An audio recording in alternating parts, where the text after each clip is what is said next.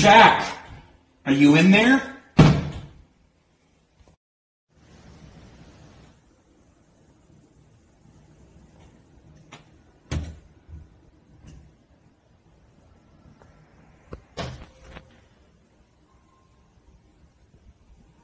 It's you.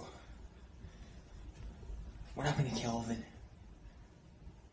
Jack, I didn't kill Kelvin. We got attacked by biters. Look, I want to prove my friendship with you. I'll even prove it. I'll go get food for us or something. I guess, prove it. Who else do I got? What else do I got? You're taking out all my men.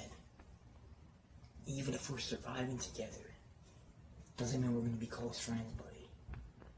I'm getting sick of you. I am.